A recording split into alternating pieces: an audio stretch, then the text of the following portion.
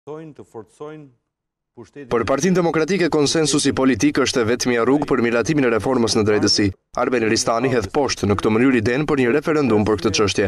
Shoh si zgjidhje të vetme konsensusin politik, pra dëshirën, përgjegjshmërinë politike të të aktorëve politikë për ta zgjidhur me vullnet këtë punë.